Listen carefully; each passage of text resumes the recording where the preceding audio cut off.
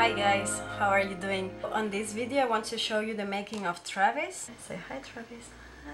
He is pretty different from all the other works because he can move his arms and his legs, even his little head. He has been made in a pretty different way that I would like to share with you here. So the story of Travis uh, actually started like a year ago or so when I took a summer trip to Prague. I fell in love with all the string puppets, the marionettes they have in there. They are made of wood and they have this sort of old look and they are quite creepy but at the same time pretty lovely and they have this sort of really handmade look that I really liked. So I wanted to do something like this. I found this massive bag I had in my studio for quite a while, which is some uh, papier-mâché, and so I made Travis. My first experience with papier-mâché is that it's really tricky to work with and if you're used to polymer clay it can get pretty frustrating because it's really hard to sculpt, it's really sticky, it's hard to get proper details but on the other hand you can get this sort of texture which I really love um, he does have this sort of old look I was looking for. Also when you're sculpting something with papier-mâché, they smell like uh, old books and I think that's lovely.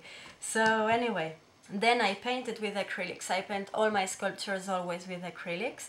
The main difference is that uh, I didn't varnish Travis. With polymer clay the paint can very easily come off, but with uh, papier-mâché it's paper, so it kind of absorbs really nicely the paint and I didn't varnish it because it felt wrong. I don't know if you are supposed to do it actually. I'm no expert at all on this material. It's the first time I use it. And then I had the horrible idea of making a hairy creature while we had a heat wave here in France because the fur is made of wool. Then I had a bit of a problem attaching the parts because I'm not used to making articulated toys. So despite it works uh, you see that he moves too much his head. I have got to find a better system. If you guys have any tips on how can I do this, it will be very much appreciated. I think that the last experiment I did was the eyes. I don't like the eyes I'm making anymore. I mean,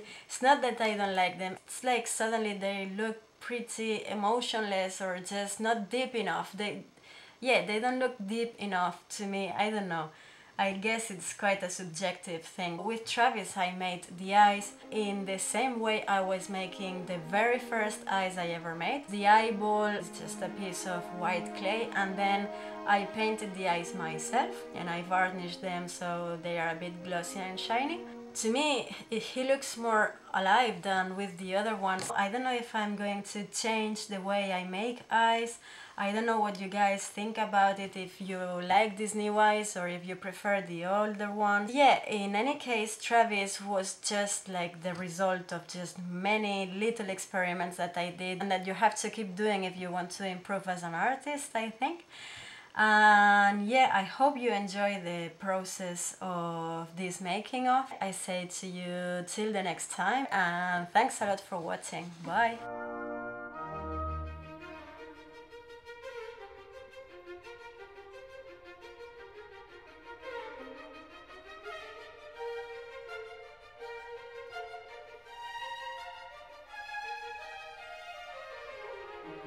Thank you thank you